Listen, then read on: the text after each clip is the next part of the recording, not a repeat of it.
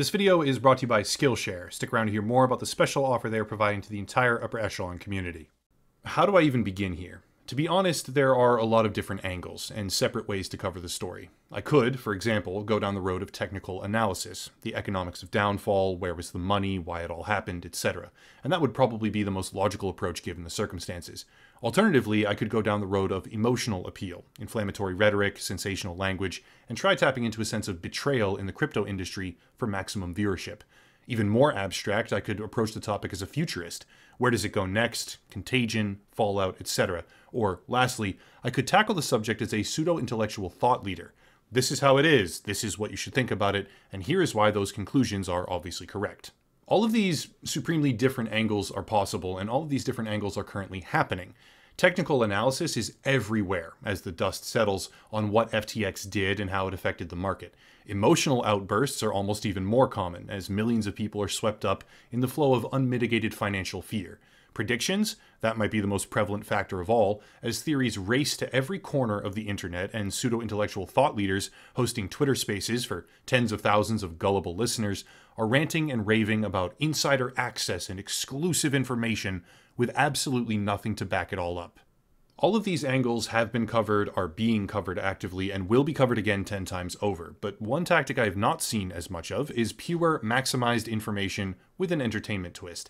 Maybe I'm not the right person for the job, all of you can be the judge of that today, but I'd like to go down this road and cover a story that seems to be one of the greatest financial rabbit holes of our time. Before going further, this video is brought to you by Skillshare. Skillshare is a massive and growing online learning community that is built by and for all of its users.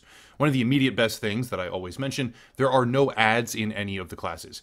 Ads, of course, pay my bills on here on YouTube, but with Skillshare, you aren't going to be served any advertisements. You can just go at your own pace without interruption. Most recently, though I do consider myself to be rather adept at graphic design, I've been exploring a class by McKay Saturday called Logotype Design Create Brands with Typography. As I push towards a more comprehensive merchandise selection, typography and logotype design seem like an excellent skill to improve, and Skillshare has a multitude of classes to help me do that. Skillshare as a platform is created for all brackets of skill. You can be a hobbyist, amateur, or even full on professional who finds value in it because it allows people with real experience to communicate that lifetime experience in a helpful way. When you join, you can even try out a Skillshare live class, which adds a whole new dynamic layer to the online learning experience. The first 1,000 of my subscribers to click the link down below in the description will get a one month completely free trial of Skillshare so you can start exploring right now today.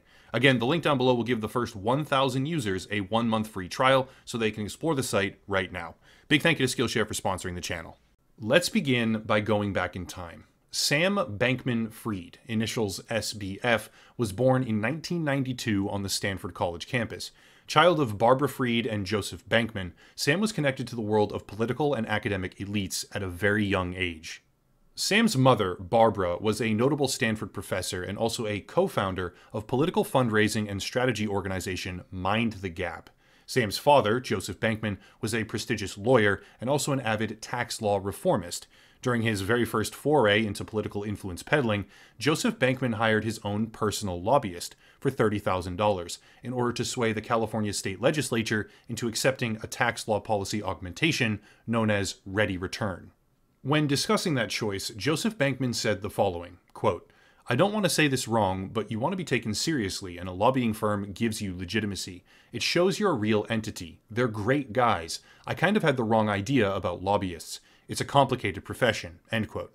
Ultimately, Joseph Bankman was unsuccessful in this particular endeavor, but the lessons he learned and the affinity he discovered for buying political influence would no doubt be passed down from father to son.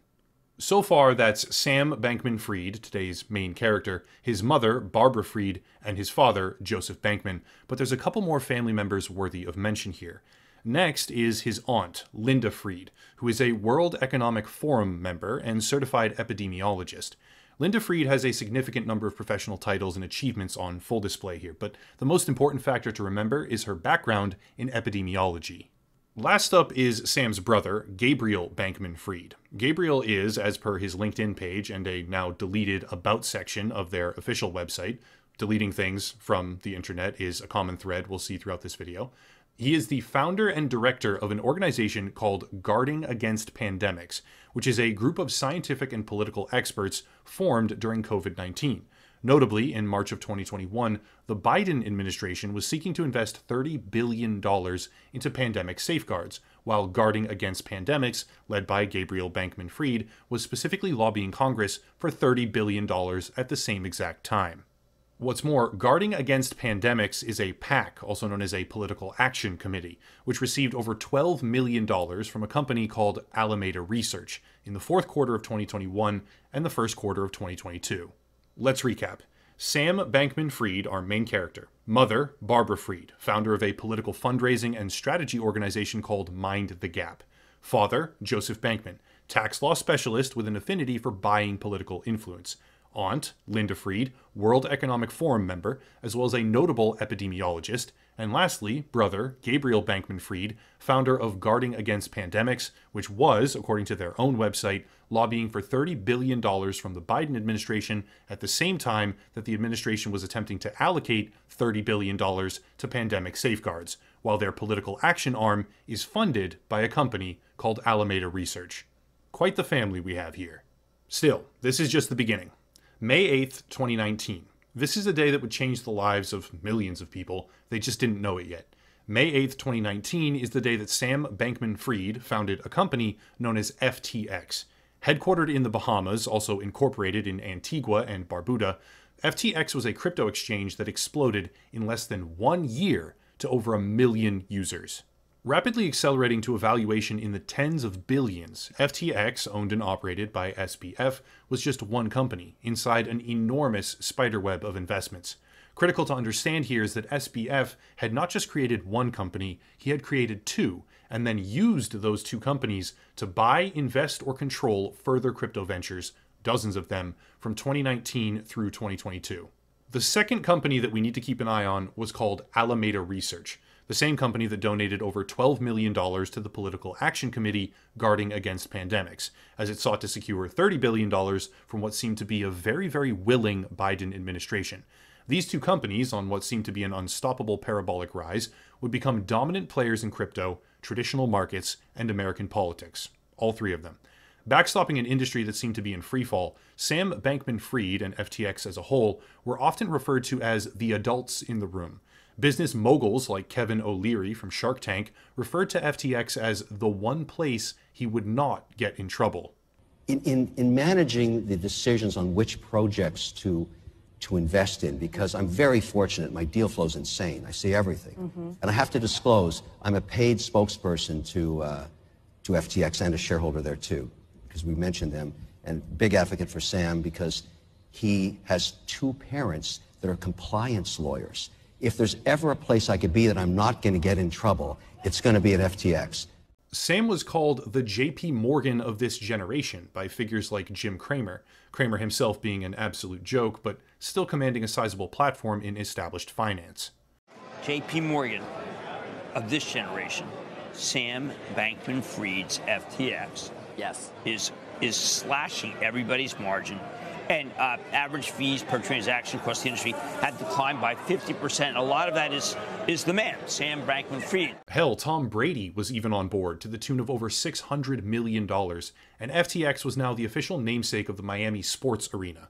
Billions of dollars in advertising, massive partnerships, huge bailouts for competing companies laid bare by falling prices, and all of it building an image that FTX was the safest place to be the most trustworthy and lucrative name in crypto, and the one company that was doing it right against all odds with nothing but upside in their future.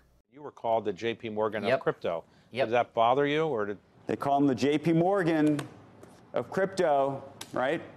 We had a couple billion going into the into this. And joining me now is Sam Bankman-Fried. He's the CEO of the cryptocurrency exchange FTX. You may have seen their TV ads occasionally and one of America's youngest billionaires. Forget the banks. The crypto world is now going to get a bailout, and it's coming from one of their own. Kate Rooney joins us now with how Sam Bankman Fried, CEO of crypto exchange FTX, is keeping the industry as prices take a hit. He's keeping them stable. How, Kate? Yeah, yeah that's right. Sam Bankman Fried is really becoming the industry's lifeline during a crisis lately. First, it was to BlockFi through FTX, then half a billion dollars roughly through his quant trading firm to Voyager. FTX, led by Sam Bankman Fried, was the crypto industry darling child, but remember, his parents were extremely well versed in political activism, fundraising, influence peddling, and tax law. So, where would it go from here? Answer regulation. Already securing a place as the second largest crypto exchange in the entire world, FTX wasn't done, not by a long shot. Sam took it upon himself to be the driving force behind governmental regulation of crypto. After all, he had the platform, the influence, and the money, so why not? Proposing regulation framework to the CFTC, the Commodity Futures Trade Commission, SBF was in the room during policy discussions. On top of this, he was recorded in frequent meetings with top level figures at the SEC, which deals with the regulation of securities. Meanwhile, the SEC had active lawsuits against projects like XRP, Ripple, and LBRY, LBC, claiming that they fit the definition of a security, and thus they need to be regulated. But no action was being taken against or investigations being opened into FTX. The company seemed unstoppable. Closed door meetings with regulation bodies, Sam Bankman Fried even testifying before Congress, while his two parallel companies grew ever larger, acquiring more and more partners or subsidiaries day after day. Just one problem a small problem, but a problem that would bring the company to its knees like the Greek hero Achilles. Alameda Research was initially thought to be a separate entity from FTX. One was simply an exchange, the other a hedge fund and acquisition firm, but in late 2022, that illusion began to dissipate. Exposed by Coindesk journalist Ian Allison, Alameda Research turned out to be far more connected than not. The FTX native token, FTT, composed a massive chunk of Alameda's balance sheet, meaning that these two companies, in simple terms, weren't just affiliated by the founder, they were deeply connected through financing and assets. That by itself might have been fine, but there was more. Alameda Research, after a series of faulty investments and high loss trades, had found itself in a massive hole. Attempting to dig out of this hole, funds were allegedly siphoned away from FTX, $10 billion or thereabouts, through a backdoor code loophole specifically designed to circumvent compliance systems that Sam had crafted himself. These funds were used to prop up Alameda Research at the cost of liquidity for FTX, and when exposed to significant pressure from a rival exchange called Binance, the entire scheme imploded. This is where I will summarize a bit since there will undoubtedly be thousands of videos on the topic that precisely deal with this financial implosion. But the gist of it is this Alameda Research was a faulty, ill constructed money pit that absorbed so many losses in such a short period of time during the crypto bear market, meaning a sustained downtrend in the wider space, that it required billions in order to stabilize. When fear began to build in the broader community, spurred by a massive hinted sale from Binance, people attempted to withdraw their capital, as they rightly should, and that outflow of liquidity after FTX had secretly siphoned away most of its assets into Alameda Research exposed that the two companies were in fact bankrupt. Long story short, the scheme went down in flames because neither company could fulfill its financial obligations, too much capital had already disappeared from their balance sheet, and the world's second largest crypto exchange did not have the money it needed to pay out customers. That right there is the basic rise and fall of FTX, but as the ashes rain down on the wider crypto industry, even still, theories and speculation abound. First came the outrage. What was happening? How could this be true, and why didn't anyone stop him? But then, alongside an absolute tornado of falsified claims and wild accusations, came legitimate information. It turned out that the signs had always been there. CEO and founder of FTX, Sam Bankman Fried, openly tweeting stimulants when you wake up, sleeping pills if you need them when you sleep. And far from an isolated incident, the CEO of Alameda Research, a former girlfriend of Sam Bankman Fried, Caroline Ellison, who we will certainly be discussing in just a moment here, was seen tweeting things such as, nothing like regular amphetamine use to make you appreciate how dumb a lot of normal, non medicated human experience is. End quote. Suffice it to say, a picture began to form, reinforced by alleged insiders at FTX, where the management structure of this massive multi billion dollar crypto empire was a bunch of romantically involved mid 20s drug users partying in the Bahamas and stealing from customers. That's a pretty dramatic shift here, from gold standard of crypto to drug fueled delinquency, but it's far from over. Directly after FTX and Alameda Research declared Chapter 11 bankruptcy, now officially filed in the United States, there was panic. Not because investors had likely been wiped out, but because an unknown hacker, allegedly, was looting FTX wallets and stealing hundreds of millions of dollars right from under people. News exploded across social media. The FTX application was allegedly malware, as supposedly confirmed by a developer. Don't visit the website, it might download a Trojan. People were panicking. Really, they were. Users were showing a zero balance in their FTX wallets, and over $600 million, by some claims, was flowing out of exchange wallets and into the pockets of unknown third parties. Was it the bankruptcy court? Was it a disgruntled insider? Was it an altruistic white hat simply trying to help everyone? No one knew, but everyone was speculating. This is where we start to find slightly more credible bits of information. As the panic was churning, Chief Security Officer of competing crypto exchange Kraken, a platform where it seemed a large portion of the allegedly stolen money had been funneled through, tweeted out, We know the identity of the user, seemingly confirming that this was an insider at Alameda Research, or FTX, who had decided to take everything as the company burned. Who that insider could be, I have no idea. That's a topic for law enforcement. But what we can analyze is the structure and connections of FTX as well as Alameda Research that have come to light as the internet turns on them. Caroline Ellison. I said we would come back to her, so here we go. Caroline Ellison was the CEO of Alameda Research, a company that donated $12 million to the Political Action Committee run by SBF's brother, Gabriel, as it was poised to receive $30 billion from the Biden administration. Caroline Ellison's father is the department head of economics at MIT, and Gary Gensler, chairman of the SEC, an agency with whom Sam Bankman Fried had regular closed door meetings, is a former professor in that very same department. Digging even further, we can see that SBF himself donated tens of millions of dollars purely and exclusively to Democratic candidates and organizations for the US 2022 midterms, earning him a place as one of the largest Democratic donors in the world, second only to George Soros. In addition, during frequent press interviews and public statements, SBF claimed that he was planning to spend, planning to spend, a record breaking $100 million in the next presidential election, with a soft ceiling of a billion dollars. And on top of that, as far back as 2020, he had made the second largest donation specifically to the Biden presidential campaign as well. Let's put this in context. That kind of political contribution going forward, at or even near a billion dollars, would make him the largest donor in history exclusively funding the Democrats, who would have been simultaneously building influence inside the SEC, the CFTC, and dozens of other financial or political companies. However, and this is a very big however, here's what some people might have missed. Sam's father, since his very first encounter with buying politicians, has been enthusiastic about the process, and SBF, the CEO of FTX, the platform, wasn't the only one doing it. Ryan Salame, the co chief executive officer at FTX International during the 2022 United States midterms, was donating tens of millions of dollars to exclusively Republican candidates and organizations. Nishad Singh, the director of engineering at FTX, was likewise donating millions and millions of dollars again to even more Democratic PACs and candidates, including, get this, a million dollars to Mind the Gap, a political group run by Sam Bankman Fried's mother. FTX and Alameda Research were filled with executives donating tens of millions of dollars to politicians across both sides of the political spectrum, as well as SBF's own relatives, while Sam himself worked to secure regulatory favor within multiple agencies.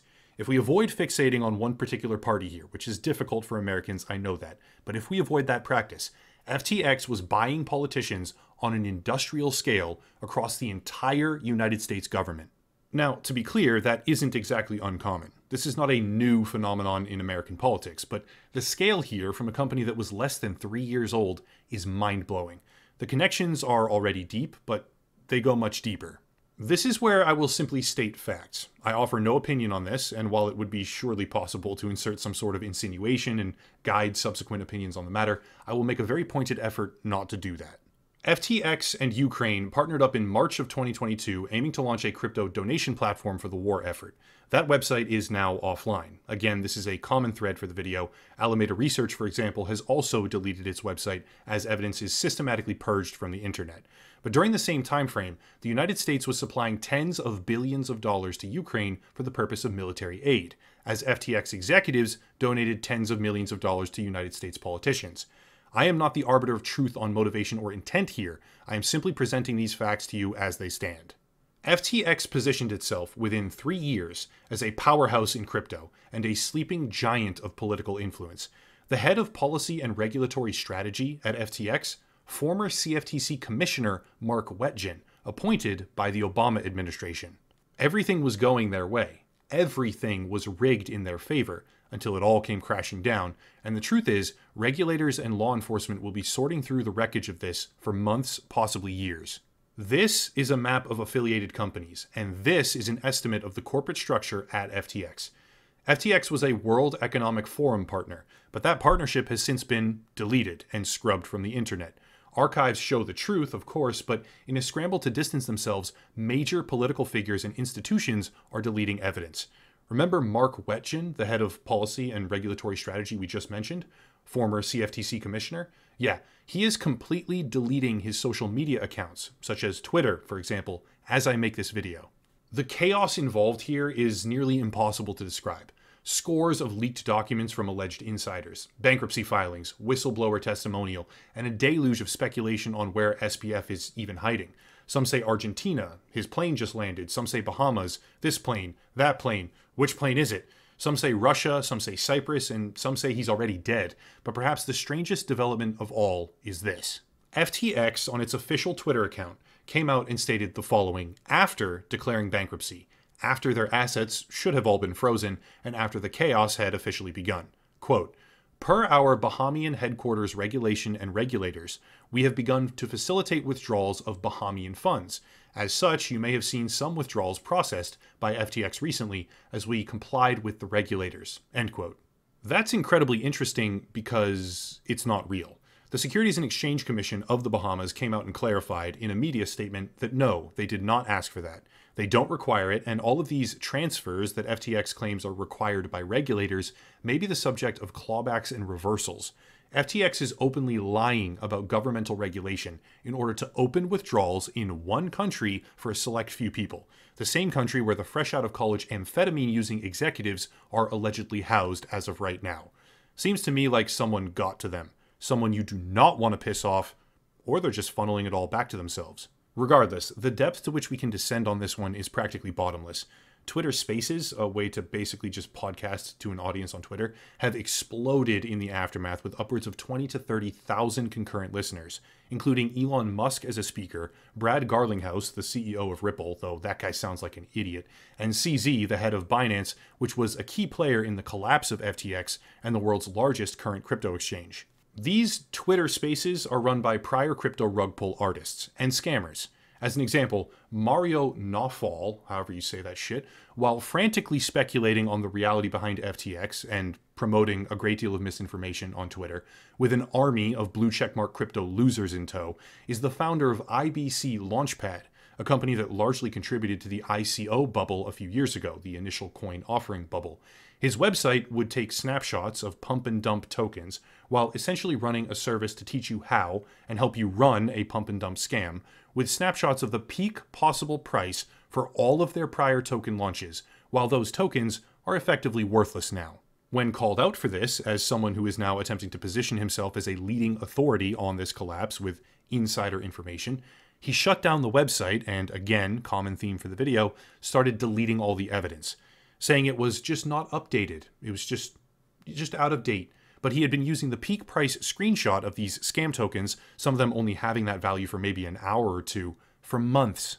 The influencers who are now wallowing in the attention this crisis has fed them are deranged, pathetic losers. They scream about their insider knowledge while pushing theories and information that have been readily available for days from other sources. One such example would be a YouTuber named BitBoy, who is trying desperately to maintain a centerfold position in the narrative here, regurgitating a theory about one Daniel Friedberg. Friedberg was a high level compliance and regulatory executive at FTX, formerly the head of legal counsel for them, who also found himself embroiled in scandal a number of years ago, during the mid 2000s, when he helped an online poker website, UltimateBet.com, evade US regulators and law enforcement. He organized false business fronts, false acquisitions, offshore rubber stamp compliance, and all sorts of other criminal actions to keep Ultimate Bet operational. The kicker? He isn't even the only lawyer from Ultimate Bet, a criminal organization, to make the transition into crypto. Stuart Hoegner, a former Ultimate Bet lawyer, holds a similar regulatory and compliance position at Tether, which is often regarded as the money printer behind crypto to begin with. In fact, a crypto analysis released in 2019 indicated that Tether is the artificial engine behind Bitcoin's dramatic price rise. And now, as FTX goes down in flames, two former colleagues at a criminal poker organization are parallel compliance executives at FTX and Tether. The rabbit hole is very deep. One final note, because if I don't stop myself, I'll just never be done. In the aftermath, crypto exchanges are being pressured to release proof of reserves to rebuild confidence. And yet, as they do this, there are massive trades happening between them. Crypto.com accidentally sent hundreds of millions of dollars to the wrong address and didn't get it back for days. Funds go in from one exchange to the other, a snapshot is taken, and then funds go out, often to another exchange entirely.